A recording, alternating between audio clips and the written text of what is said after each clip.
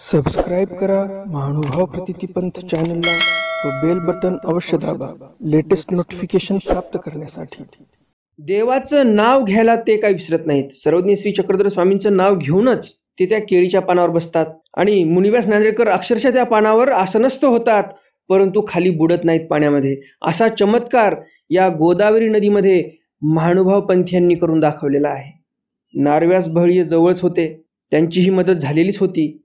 आणि देवाची मदत तर आहेच आहे. तर अशा प्रकारे महानुभाव पंथातील एक विद्वान पंडित मुनिबास नांदेडकर हे केळीच्या पानावर बसून दाखवतात ते पण पाण्यामध्ये. तर जाणवण्याने किती मोठा फायदा झाला तुम्ही विचार करा. नारव्यास बहळी तिथून आले हे कुंजांतरची जी चर्चा झाली त्याच्यामध्ये विजय प्राप्त करू शकले नारव्यास बहळीमुळे मुनिव्यास नांदेडकर पण. आणि त्यामुळे राजा उपदेशी झाला नांदेडचा. तर असे स्वप्न पडणं याला जाणवणे म्हणतात. क्वचित असे स्वप्न पडत असतात. दंडवत प्रणाम जय श्रीकृष्ण. आजच्या ज्ञानसत्रामध्ये आपण स्वप्नाविषयी माहिती घेणार आहोत जे शेवटचं ज्ञानसत्र आपण लीळाचरित्राचं पाहिलं त्यामध्ये मी तुम्हाला असं म्हटलं होतं की स्वप्नाविषयी मी तुम्हाला माहिती सांगणार आहे.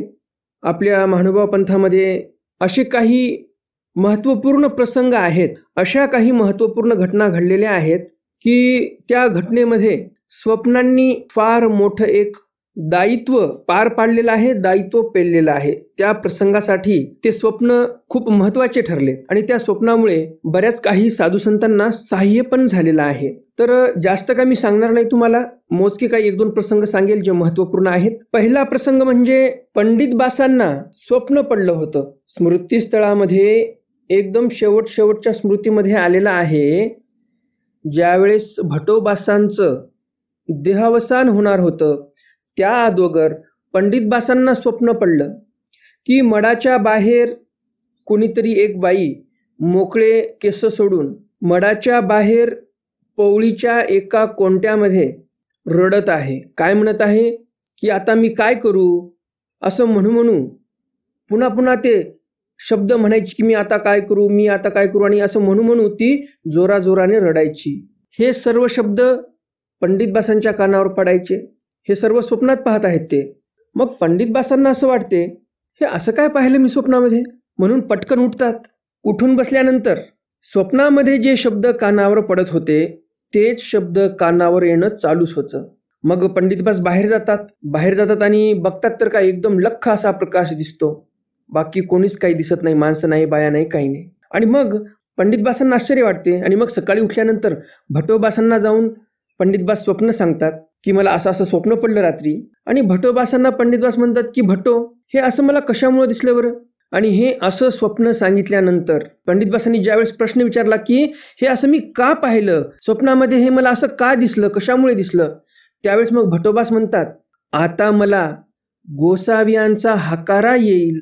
म्हणजे स्वामींचं बोलवणं येईल आता. या स्वप्नामधून हीच सूचना मिळालेली आहे मला.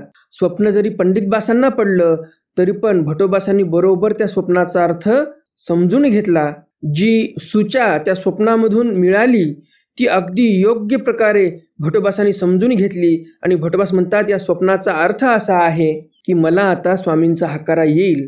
पुढं भटोबास सांगतात की ते जे स्त्री तुम्हाला दिसत होती ती या स्थळीची देवता होती. त्या देवतेने तुम्हाला सूचक दाखवलं आणि हे ऐकल्यानंतर सर्व गुरुकुळाला दुःख वाटायला लागलं की आमचे आचार्य आम्हाला सोडून जाणार आहेत. तर स्वप्न असे असतात आणि खरंच काही दिवसामध्येच भटोबासांना जोर आला आणि भटोबास कैवल्यवासी झाले. कैवल्याला योग्य असं पात्र भटोबास म्हणजे आणि त्यांना कैवल्य प्राप्ती झाली. तर असे स्वप्न असतात जे खरे होतात. आणि मोजके असे स्वप्न आहेत जे महानुभावांच्या इतिहासामध्ये नोंदवल्या गेलेले आहेत. त्याचबरोबर दुसरे एक महत्त्वपूर्ण मी तुम्हाला सांगतो महानुभावांच्या इतिहासामध्ये पडलेलं एका महात्म्याला. त्या महात्म्याचं नाव होतं नारोव्यास बहळीये. खूप विद्वान पंडित परंतु तुम्हाला माहितीच आहे जेवढे विद्वान लोक असतात हुशार लोक असतात सदाचारी लोक असतात त्यांच्या जीवनामध्ये भयंकर दुःख असतात कठीण प्रसंग येतात त्यांच्या जीवनामध्ये. तर तसेच प्रसंग आणि तसेच भयंकर दुःख नारव्यास बहळीये यांच्याही जीवनामध्ये आलेले होते. यांना स्वप्न पडलं होतं आणि त्या स्वप्नाला खरं मानून यांनी पुढे जे काही कार्य केलं त्यामुळे फार सहाय्य झाले एका मोठ्या महात्म्याला एका विद्वान पंडिताला. तर ते समोर जाण्या अगोदर आपण थोडी नारोव्यास बहळीये यांची पूर्वपीठिका जाणून घेऊया आणि नंतर मग पुढे सरकूया आपण. नारोव्यास बहळीये हे बहाळे नावाचं गाव आताही आहे. तर तिथले हे मूळचे रहिवासी. हे जे बहाळे नावाचं गाव आहे हे गाव वाघळी रेल्वे स्टेशन जे आहे त्या रेल्वे स्टेशनपासून उत्तरेस चार मैलावर आहे. तर याच गावचे ते राहणारे होते. यांचे वडील जे होते ते वडील फार विद्वान पंडित. तिथल्या राजाचे ते पुरोहित होते राजपुरोहित. त्यांना ज्योतिषशास्त्र चांगल्या प्रकारे यायचं. ज्योतिषशास्त्रामधले ते विद्वान पंडित होते. ज्योतिषशास्त्रामध्ये त्यांनी नैपुण्य प्राप्त केलेलं होतं. आणि त्यामुळे त्या राजाची चांगली मर्जी होती यांच्यावर. राजाच्या मर्जीतले माणसं नारोव्यास बळीचे वडील म्हणजे. आणि साहजिकच आहे चांगल्या माणसाला त्रास देणारे लोकही असतातच. तर यांचा द्वेष करणारे त्याच राज्यसभेमध्ये होते माणसं. मग एकदा असेच राज्यसभेमध्ये बसले असताना ते नारव्यास बहळीचे जे वडील आहेत ते म्हणतात की ज्योतिषामध्ये असा एक मुहूर्त आहे. ते राज्यसभेमध्ये बोलत असताना बोलून जातात की ज्योतिषशास्त्रामध्ये असा एक मुहूर्त आहे. त्या मुहूर्तावर मेनाची मेख केली. आणि दगडावर जर ठोकली तर ते ठोकल्या जाते. खडकामध्ये जर ठोकली ती मेख तर ती मेनाची मेख गाडल्या जाते मध्ये. ते जे नरम असं मेन आहे ते त्या खडकालाही भेदू शकते. असा एक विशिष्ट मुहूर्त असतो.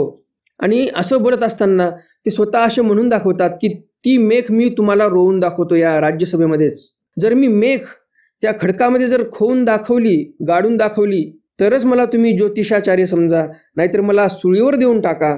असं बोलण्याच्या भरामध्ये ते बोलून जातात. मग राज्यसभेमधले जे काही कुटाळखोर लोक होते द्वेष करणारे ते म्हणतात ठीक आहे करून दाखवा आम्हाला. आम्हाला रोवून दाखवा मेनाची चिम्मेक त्या खडकामध्ये. आणि स्वतःच नारव्याज बळीचे वडील म्हटल्यामुळे राजाही मान्य करतो ही गोष्ट. आणि बाकीचे मंत्री तर म्हणतातच जर नाही जमलं तर तुम्हाला सुळावर जावं लागेल. तर हे जे ज्योतिषाचार्य होते ते म्हणतात काही हरकत नाही. विशिष्ट मुहूर्तावर ती मेख मारायची होती. मेनाची मेख तयार करून आणली. आणि तिथे त्या राज्यसभेतला एक नौकर होता. त्या नौकराच्या हातामध्ये एक मोगरी दिली त्या मेखावर मारण्यासाठी. पण झाला असं त्या राज्यसभेतले जे द्वेष करणारे लोक होते या नारोव्यासांच्या वडिलांचा त्या लोकांनी काय केलं? त्या सेवकाला पैशाचं प्रलोभन दिलं आणि सांगितलं ज्यावेळेस हे ज्योतिषाचार्य म्हणतील की मोगर मार त्या मेखावर त्यावेळेस थोडा वेळ चुकवायचा. कारण मुहूर्त कसा असतो? थोडा मागं पुढे झाला की मुहूर्त चुकून जातो. असे काही महत्त्वपूर्ण मुहूर्त असतात की फार थोड्या काळासाठी ते मुहूर्त येतात. आणि ते जर मुहूर्त चुकला तर कार्य व्यवस्थित होत नाही. आणि म्हणून या लोकांनी काय केलं? त्याला पैसे दिले प्रलोभन दिलं. आणि ज्यावेळेस हे ज्योतिषाचार्य म्हणतात की चला मारा आता घाव लवकर. त्यावेळेस नेमकं त्या सेवकाने ते मोगर हळून उचललं. उचलून असं वर नेलं आरामाने मारलं. आणि मुहूर्त चुकून टाकलं. आणि मग ती मेघ त्या खडकामध्ये जायची ते वरीच चपटी होऊन गेली. मग आता सर्वजण म्हणायला लागले आता याला सुळावर द्या सुळावर द्या सुळावर द्या. मग राजाही म्हटला चला आता तुम्हीच म्हटले होते मी काय करू शकत नाही एवढ्या लोकांपुढे मलाही यांचं मानावं लागेल. मग नारव्यास भळींचे जे वडील होते ज्योतिषाचार्य त्यांना सुळीवर देण्यात आलं. आणि असे हे ज्योतिषाचार्य एवढे मोठे या राज्यसभेतील लोकांच्या कटकारस्थानामुळे मृत्यूला प्राप्त झाले. आणि ज्यावेळेस हे ज्योतिषाचार्य वारले त्यावेळेस नारोव्यास बहळिये हे त्यांच्या आईच्या गर्भामध्ये होते. म्हणजे बघा तुम्ही एवढ्या लहानपणी पित्याचं छत्र हरवलं नारव्यास बहळीयांच्या डोक्यावरचं. पुढं मग त्या मातेने नारव्यास बहळीला लहानाचं मोठं केलं. दहा बारा वर्षाचे नारव्यास बहळीये झाले.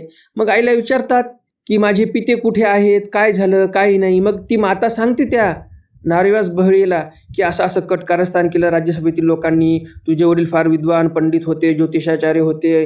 आणि मग यांच्या कट कारस्थानामुळे तुझ्या वडिलाला प्राण गमवावा लागला. हे ज्यावेळेस नारव्यास बहळीला कळालं की माझ्या पित्याला मारणारे अजूनही जिवंत आहेत त्या राज्यसभेमध्ये आताही बसतात त्यावेळेस मग नारव्यास बहळीने ठरवलं की माझ्या वडिलांना ज्यांनी मारलं त्यांचा मी प्रतिशोध नक्कीच घेणार बदला नक्कीच घेणार. आणि मग नारव्यास बहळीये गेले बंगालमध्ये आणि बंगाली विद्या शिकून आले आणि मग परत आल्यानंतर ते सरळ त्या राज्यसभेमध्ये गेले ज्या राज्यसभेमध्ये यांचे वडील कामाला होते. तिथे जाऊन हे नारव्यास बहळी म्हणतात की राजेसाहेब या या दिवशी अमक्या अमक्या वारी भयंकर त्रासदी येणार आहे तुमच्या राज्यामध्ये. भयंकर प्रलय येणार आहे. पूर्ण राज्य पुरामध्ये बुडून जाणार आहे तुमचं. पूर्ण राज्यामध्ये पाणीच पाणी होणार आहे. असं म्हटल्यानंतर सर्व लोक हसायला लागले. अरे म्हणतात गप्प बस तुझा बाप असाच मेला असं काहीतरी विचित्र बोलला आणि मरून गेला. तुला पण मरायचं आहे का? तेव्हा नारव्यास बहळे म्हणतात अरे थट्टा मस्करी नका करू. अमक्या अमक्या महिन्यामध्ये अमक्या अमक्या पक्षामध्ये अमक्या अमक्या दिवशी आणि त्या दिवशीही अमक्या अमक्या प्रहरामध्ये समुद्र फुटून जाईल व सगळे लोक पाण्यात बुडून जातील. आणि हे जर भविष्य खोटं ठरलं तर जी गती माझ्या पित्याची तुम्ही केली तीच गती माझी पण करा.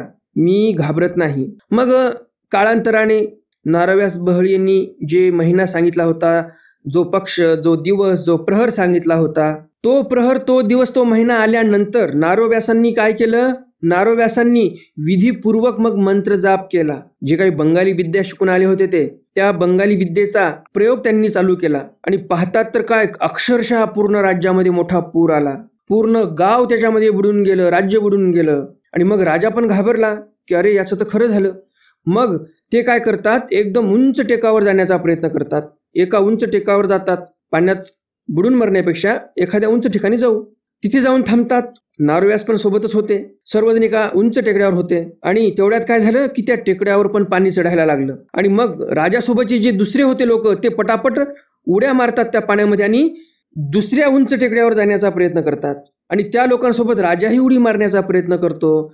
पण नारव्यासांनी त्या राजाचा हात पकडला. घाबरायचं काही कारण नाही तुम्ही थांबा असं नारव्यास म्हणतात. तो जो राजपुरोहित होता ज्या राजपुरोहिताने नारव्यास बहळीच्या वडिलांना मारलं होतं त्याला मरू दिलं पहिलं उडी मारली तो मरून गेला त्या पाण्यामध्ये. आणि राजाला काही उडी मारू दिली नाही. पुन्हा मग जे काही विद्येचा तो प्रभाव होता तो सर्व नारव्यासांनी नष्ट केला मंत्र उच्चारून पुन्हा आणि मग ज्यांचा बदला घ्यायचा होता तो बदला पूर्ण झाला. वडिलाला मारलेल्या व्यक्तीला नारव्यासांनी मारून टाकलं. असा प्रतिशोध या नारोव्यासांनी घेतला.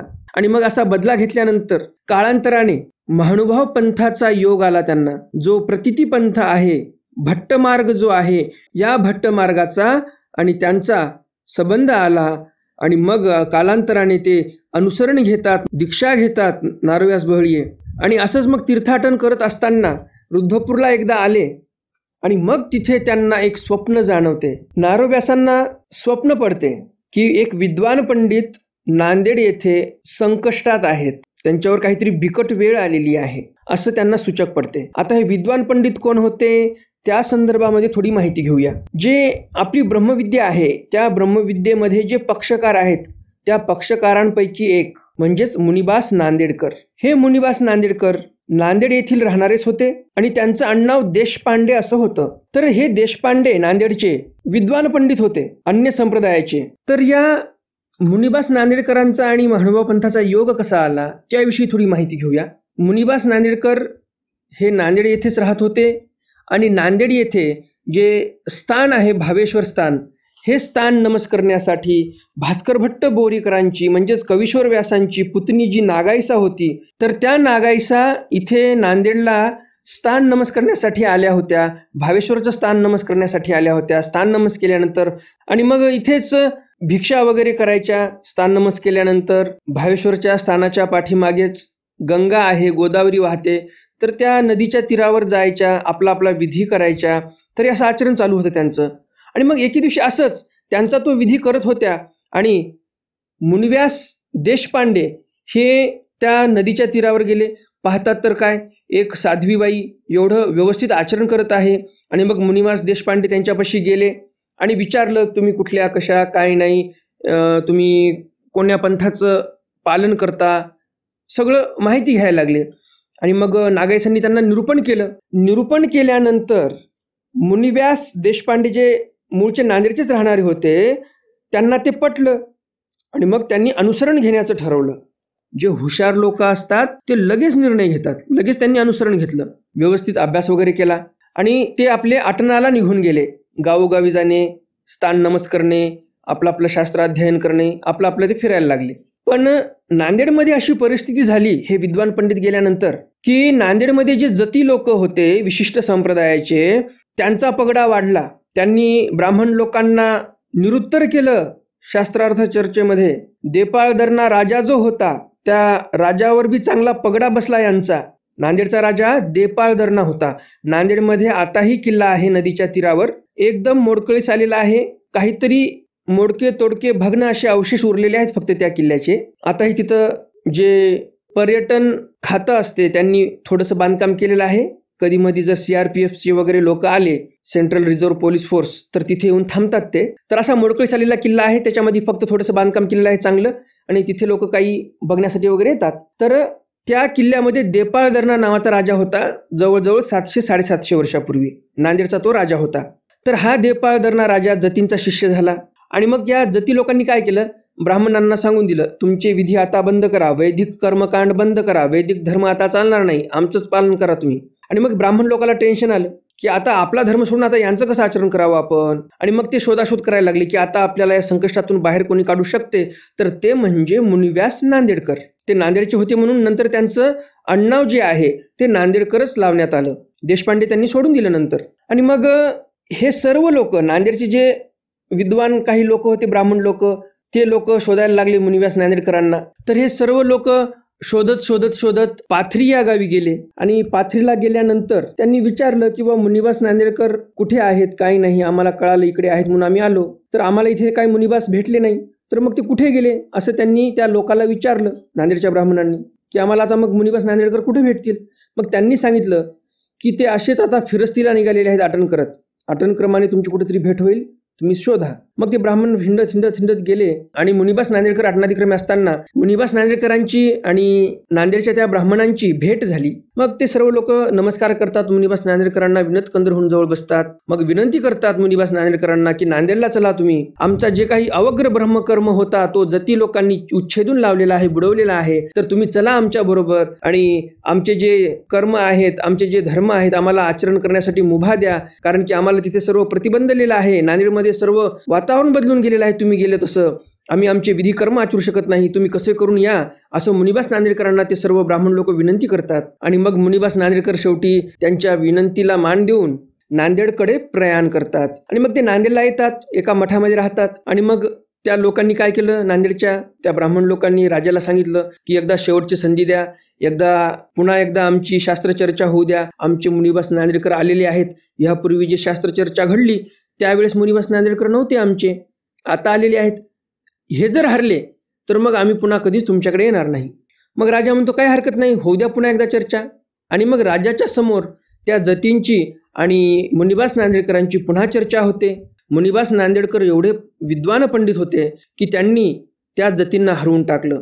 नांदेड येथील सर्व ब्राह्मणांना हरवून टाकलं होतं. त्याच जती लोकांना मुनिबास नांदेडकरांनी एकट्याने हरवून टाकलं. एवढे विद्वान पंडित होते मुनिव्यास नांदेडकर. मुनिव्यास नांदेडकर नावाने आताही एक महंती आहे. त्यांच्या नावाने ती महंती चालत आलेली आहे. परंतु आपल्याच पंथामध्ये काय माहीत काय कारण आहे? त्या महंतीला एवढं प्रकाश झोतात कोणी येऊ देत नाही. असो आपल्याला महंतीची घेणं नाही. एक मला फक्त आठवलं म्हणून मी सांगितलं. तुम्ही पण जे काही वासनिक मंडळी आहात मुनिव्यास नांदेडकर नावाचे कोणते बाबा ऐकले नसतील एवढे. प्रकाश झोतात कोणी आलेले नाहीत तेवढे. तर ते मुनिवास नांदेडकरी महंती उभी आहे किंवा नाही हेही माहिती नाही. परंतु एवढी मोठी महंती आहे ते. मुनिवास नांदेडकरी म्हणजे जे मुनिवास नांदेडकर चोवीस पक्षकारामध्ये गणल्या जायचे त्यांच्या नावाची महंती आहे. परंतु काय माहिती कशामुळं लोक दुर्लक्ष करतात त्या महंतीकडे? तर पुढं काय झालं ते पाहूया. मग मुनिबास नांदेडकर तर जिंकले. जिंकल्यानंतर जती लोक गप्प बसतात. पुन्हा जे ब्राह्मण लोकांचे कर्म होते ते चालू झाले. जती लोक आता गप्प बसले. ते काय बोलायला तयार नव्हते. आणि एवढं झाल्यानंतर पुन्हा या जती लोकांच्या डोक्यात काय येते काय माहिती? ते म्हणतात अहो हे काय शब्द छल सर्व? आम्ही शब्द वापरले तुम्ही शब्द वापरले नुसतं शब्दांमध्येच कोणी जिंकते थोडी. आता आपण मंत्रतंत्राने चर्चा करूया. कुंजांत्र ज्याला बोलतात. बघूया कुंजांत्रामध्ये कोण जिंकते कोण हारते. पहिलेच्या चर्चेमध्ये जयतपत्र कोणाला मिळालं? मुनिबास नांदेडकरांना मिळालं. नांदेड नगरीतील सर्व ब्राह्मण खुश झाले. मुनिबास नांदेडकरांचा हा महाप्रताप ऐकून खूप खुश झाले लोक. परंतु जती लोकांनी पुन्हा दुसरी अट टाकली की कुंजांत्र या विद्येने आपण खेळूया आता चर्चा करूया. आणि कुंजांत्राचा विषय काढला की मग मुनिबास नांदेडकरांची झाली पंचायत. कुंजांत्र काय मुनिबासांना येत नव्हतं. इतर शास्त्र त्यांना एकदम मुखपाठ होते. शास्त्र चर्चेमध्ये मागे हटत नव्हते ते. परंतु आता कुंजांत्र कधी अभ्यासलंच नाही यांनी. मग आता कुंजांतरावर जर चर्चा झाली तर आता काय बोलावं आपण? आता हे टेन्शन यायला लागलं मुनिबास नांदेडकरांना. मुनिवास नांदेडकर म्हणजे साधारण माणसं नाहीत हे तर मी तुम्हाला सांगितलेलंच आहे. मग आता एवढ्या मोठ्या विद्वान पंडिताला जर टेन्शन यायला लागलं चिंता करायला लागला विद्वान पंडित तर मग देव तर सहाय्य करणारच.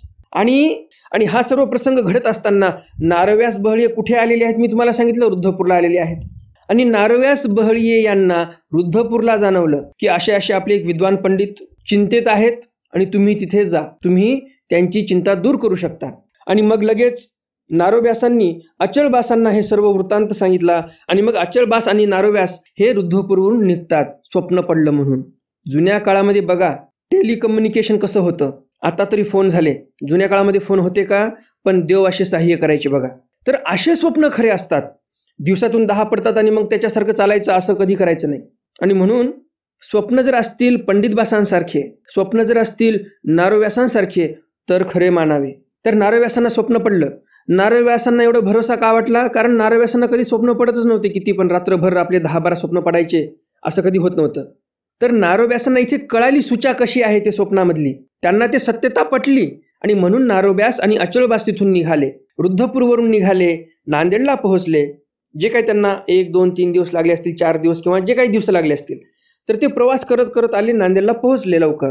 आणि मग नांदेडला पोहोचल्यानंतर अचळबास मुनिवास नांदेकरांना सांगतात की आता तुम्ही काही चिंता करू नका आता आम्ही आलो सर्व व्यवस्थित होईल. हे कुंजांतर वगैरे याची काही तुम्ही चिंता करू नका.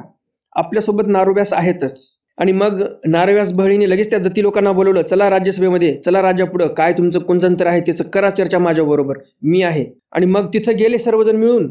आणि राज्यसभेमध्ये ठरलं की कालिया डोह नावाचा डोह आहे तिथे सर्वांनी यायचं मग तिथं ठरू काय करायचं ते. हे जती लोक राजाला म्हणतात. राजा तर जती लोकांचा ऐकतच होता. राजा म्हणतो ठीक आहे चला कालिया डोहाकडे. मग दुसऱ्या दिवशी कालिया डोहापाशी येतात. नांदेड शहराच्या जवळच विष्णुपुरी नावाचं गाव आहे आणि त्या विष्णुपुरी गावामध्ये काळेश्वर नावाचं एक मोठं महादेवाचं प्राचीन मंदिर आहे आणि तिथेच एक डॅम आहे बंधारा बांधलेला आहे. त्याला विष्णुपुरी डॅम म्हणतात आणि त्या नदीच्या तीरावर हे काळेश्वर जे मंदिर आहे तिथे लगतच एक कालिया डोह नावाचा डोह आहे आताही आहे. तर तिथे सर्वजण येतात मुनिव्यास नांदेडकर येतात अचळबास येतात नारोव्यास बहळी येतात नांदेडचा जो देपाळदरना राजा होता तो येतो आणि जती लोकही येतात. मग तिथे गेल्यानंतर राजा म्हणतो सांगा काय करायचं आता? आता कुंजांतर म्हणजे काय? तर काहीतरी जादू दाखवायची काहीतरी चमत्कार दाखवायचा. असं कुंजांतर असते. मग मुनिबास नांदेडकरच काय म्हणतात? की या पाण्यावर दोन केळीचे पानं टाका आणि या दोन्ही पानावर आम्ही दोघ जण बसणार. एका पानावर मी बसणार एका पानावर हे जती बसणार. जो बसू शकला त्या पानावर तो विजयी झाला त्याने जैतपत्र द्यावं आणि स्वतःची हर कबूल करावी. जो पाण्यात बुडाला तो तर हरला समजून घ्या. मग जती लोक म्हणतात काय हरकत नाही चला. मग नारोव्यास बहळीये वगैरे सर्व असतातच तिथे. नारोव्यास बहळीये काय करतात? निवास नांदेडकर ज्यावेळेस त्या केळीच्या पानावर बसण्याचा प्रयत्न करतात त्यावेळेस नारव्यास बहळीये. काय करतात त्यांचं त्यांना माहिती. पण केळीचं पान खाली बुडू देत नाहीत. आणि जती लोक बसायला जातात तर केळीचं पान बुडून जाते. तेही त्या पानासोबत बुडतात. आणि ज्यावेळेस मुनिबास नांदेकर त्याच्यावर बसतात त्या केळीच्या पानावर देवाचं नाव घ्यायला ते काय विसरत नाहीत. सर्वज्ञ श्री चक्रधर स्वामींचं नाव घेऊनच ते त्या केळीच्या पानावर बसतात. आणि मुनिबास नांदेकर अक्षरशः त्या पानावर आसनस्थ होतात परंतु खाली बुडत नाहीत पाण्यामध्ये. असा चमत्कार या गोदावरी नदीमध्ये महानुभाव पंथीयांनी करून दाखवलेला आहे. नारव्यास भळीये जवळच होते. त्यांचीही मदत झालेलीच होती. आणि देवाची मदत तर आहेच आहे. तर अशा प्रकारे महानुभाव पंथातील एक विद्वान पंडित मुनिबास नांदेडकर हे केळीच्या पानावर बसून दाखवतात ते पण पाण्यामध्ये. मुनिबास नांदेडकर तर तरुण गेले परंतु जती पाण्यामध्ये बुडले. जती लोक हारले. जयतपत्र शेवटी मुनिबास नांदेडकरांना प्राप्त झालं. आणि असे दोनदा मोठे पराक्रम केले.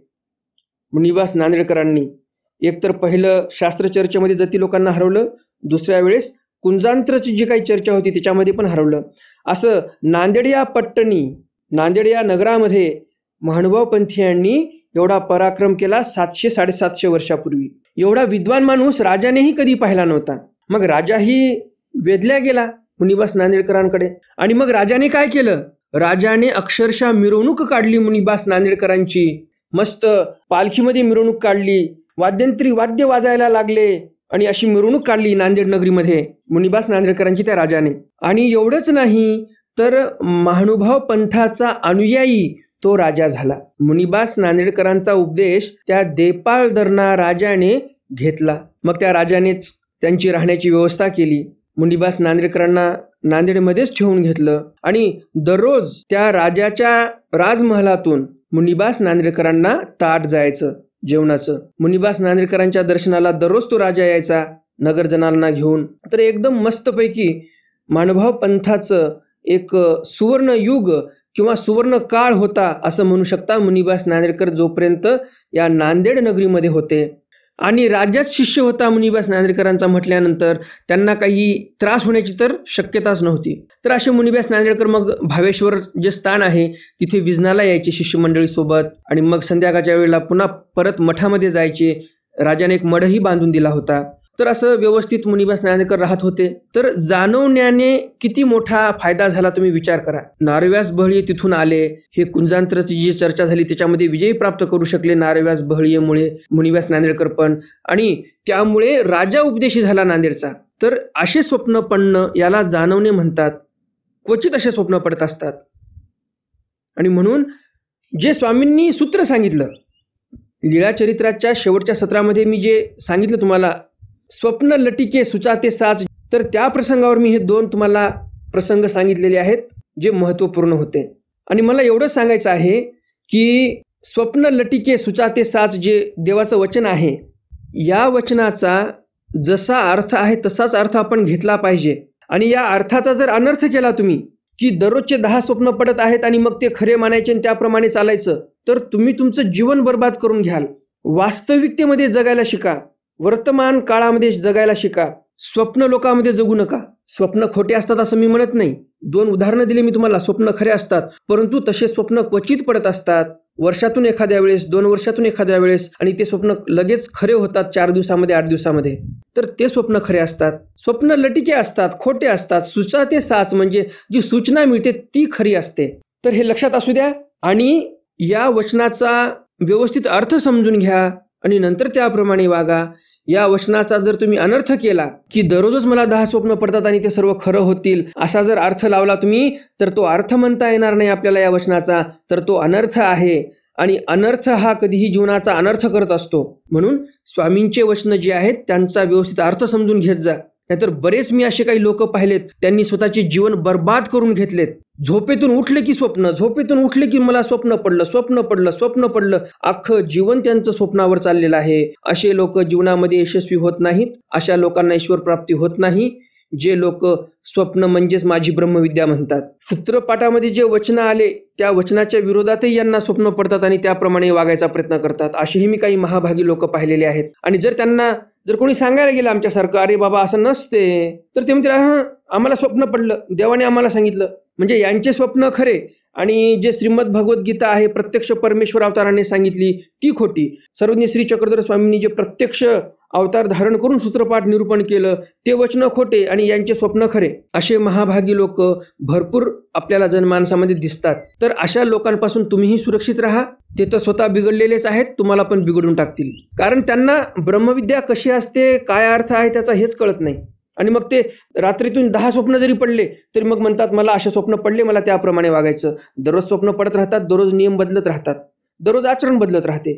असे काही मानसिक रोगी झालेले आहेत लोक या स्वप्नांपायी. तर तसे मानसिक रोगी तुम्ही होऊ नका आणि जे मानसिक रोगी झालेत त्यांच्या जवळही राहू नका. म्हणजे तुम्ही सुरक्षित राहाल. आणि शेवटी मी तुम्हाला एवढंच म्हणेल स्वप्न लटिका सुचाते सात स्वप्न खोटे असतात. थोडीशी त्याच्यामध्ये जी सूचना मिळते वर्षा दोन वर्षाला जसे काही एक दोन सेकंदात चार सेकंदात स्वप्न पडून जातात आपल्याला ते स्वप्न खोटे असतात परंतु त्याच्यातली सूचा जी आहे तीच सत्य असते. आणि असे स्वप्न महत्त्वपूर्ण मोजके पडत असतात. जसे की नारोव्यास यांना स्वप्न पडलं पंडित बासांना स्वप्न पडलं असे स्वप्न मोजके असतात. आणि जर तुम्ही म्हणालातच की नाही नाही स्वप्न खरेच असतात तर तुम्ही सांगा आताचेच लोक भाग्यवान झाले आणि सातशे वर्षापूर्वीचे लोक काय अभागी होते का हो? त्यांना कमी स्वप्न पडत होते? आणि आता आठशे वर्षानंतर सातशे वर्षानंतर तुम्ही जन्माला आलात आणि तुम्हाला जर दिवसाचे दहा स्वप्न पडत आहात तर मग तुम्ही भाग्यवान झालात का? नाही. सातशे वर्षापूर्वी जे पंडित होऊन गेले आपले विद्वान पंडित तेच भाग्यवान होते आणि त्यांना मोजके स्वप्न पडायचे आणि मोजक्या स्वप्नांचीच नोंद इतिहासामध्ये आहे. याचाच अर्थ काय? तर स्वप्न मोजकेच पडत असतात आणि जर दररोजच दहा स्वप्न पडत असतील आणि देव सूचना करत असतील तर आतापर्यंत स्वप्नस्थळ नावाने लाखो पानांचे पुस्तक प्रकाशित झाले असते माणभाव पंथामध्ये. कुठे पाहिलं का तुम्ही स्वप्नस्थळ नावाचं पुस्तक नाही? कारण स्वप्नावर जास्त विश्वास करायचाच नसतो. स्वतःच्या आचरणावर विश्वास करायचा असतो. देव सर्व सांगून गेले आपल्याला सूत्रपाठामध्ये. देव सर्व सांगून गेले आपल्याला श्रीमद भगवद्गीतेमध्ये त्याचा अभ्यास करा त्याप्रमाणे आचरण करा. आणि जर स्वप्नच खरे म्हटले असते तर आतापर्यंत कपाटाच्या कपाट भरून गेले असते त्या स्वप्नाच्या पुस्तकाचे. आणि जुन्या पंडित लोकांनी स्वप्नच लिहून ठेवले असते. आणि म्हणून आताची जी वेडे लोक आहेत स्वप्न स्वप्न म्हणणारे दिवसातून दहा वेळा स्वप्न पडतात आणि स्वप्न सांगत बसतात यांच्यापासून सावध राहा यांच्यापासून दूर राहा. हे स्वतः मनोरुग्ण झालेत तुम्हालाही मनोरुग्ण करतील. आणि म्हणून देवाचे जे मेन सूत्र आहेत गीतेमधले जे श्लोक आहेत त्यांचा अभ्यास करा त्याप्रमाणे वागण्याचा प्रयत्न करा. तर आजच्या ज्ञानसत्रामध्ये तुम्हाला बरीच महत्त्वपूर्ण माहिती मिळालीच असेल आणि हा व्हिडिओही तुम्हाला नक्कीच आवडला असेल. आणि अजून जर तुम्ही या व्हिडिओला लाईक केलं नसेल तर लगेच या व्हिडिओला लाईक करा आणि जास्तीत जास्त आपल्या वासनिक मंडळीपर्यंत हा व्हिडिओ शेअर करा. म्हणजे त्यांनाही या ज्ञानाचा लाभ होईल. आजच्या ज्ञानसत्रातील प्रश्न आहे स्वप्न लटिका सुचाते साच या वाक्याचा खरा अर्थ काय आहे? हा आजच्या ज्ञानसत्रातील प्रश्न आहे. आता पाहूयात आपण कालच्या ज्ञानसत्रातील प्रश्न त्याचं उत्तर आणि कुणी कुणी त्या प्रश्नाचं बरोबर उत्तर दिलं त्या सर्व वासनिक मंडळींची नावं. कालच्या ज्ञानसत्रामध्ये मी तुम्हाला प्रश्न विचारला होता चार मुक्त्या ज्या आहेत सालोक्य सामिप्य सारुप्य सायुज्य यांचा अर्थ काय? काल म्हणजे परवाच्या दिवशी मी तुम्हाला प्रश्न विचारला होता हा. काल व्हिडिओ मी टाकला नाही. तर या प्रश्नाचं उत्तर आहे सालोक्य म्हणजे देवता लोकामध्ये प्राप्ती सामिप्य म्हणजे जी मुख्य देवता आहे त्याच्या समीप जे लोक आहेत तिथे प्राप्ती मिळते त्या जीवाला. सारुप्य म्हणजे मुख्य देवतेच्या पत्नीच्या ठिकाणी प्राप्ती मिळते. सायुज्य म्हणजे मुख्य देवतेमध्ये प्राप्ती मिळते. असं या मुक्त्यांचा अर्थ आहे. बरोबर उत्तर देणाऱ्या वास्तविक मंडळींची नावे पुढील प्रमाणे. निर्मलाताई फिरके तारामावशी पट्टाईत दिव्याताई सुरेशजी के के शालिनीताई राऊत राजश्रीताई वर्धेकर डॉक्टर सतीजी उरे दुर्गाताई भावे कमलताई टोणपे संध्याताई पाटील पुष्पाताई धनवटे आरतीताई कदम भोपाळजी साळवे संतोषजी रासकर कविताताई पटोले ज्ञानेश्वरजी महाजन माधुरीताई भोपळे अच्युतरावजी आडवे निवृत्तीजी खाडे संध्याताई सुरेश योजनाताई भरते नंदिनीताई गिरी सुलभाताई देशमुख लहुजी मातगुडे रुक्मिणीताई मातगुडे भागवरावजी कदम जियाताई चौधरी लताताई चिपडे रुचाताई उगले मदनजी कोल्हे या सर्व वासनिक मंडळींनी अगदी बरोबर उत्तर दिलेली आहेत. तुम्हाला सर्वांचं खूप खूप अभिनंदन. तुम्ही ध्यान देऊन पोथी ऐकली आणि अगदी व्यवस्थित आणि अचूक उत्तर दिलेली आहेत. ज्याप्रमाणे तुम्ही कालच्या ज्ञानसत्रातील प्रश्नाचं उत्तर दिलं त्याचप्रमाणे तुम्ही आजच्याही ज्ञानसत्रातील प्रश्नाचं उत्तर नक्कीच देणार अशी अपेक्षा आहे. तर मग भेटूया उद्याच्या ज्ञानसत्रामध्ये एका नवीन ग्रंथासह तोपर्यंत दंडवत प्रणाम. जय श्रीकृष्ण. दंड